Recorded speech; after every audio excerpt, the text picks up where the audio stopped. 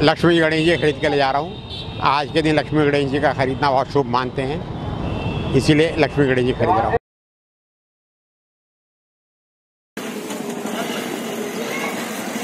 Market में बड़ी अच्छी डिमांड पे चल रहे हैं। सबसे बड़ी बात है कि लोग धनतेरस वाले दिन सोना और चांदी खरीदना दोनों शुभ मानते हैं। जिसका पूरा उदाहरण इस टाइम है, बाज़ार के अंदर पूरी रौनक है।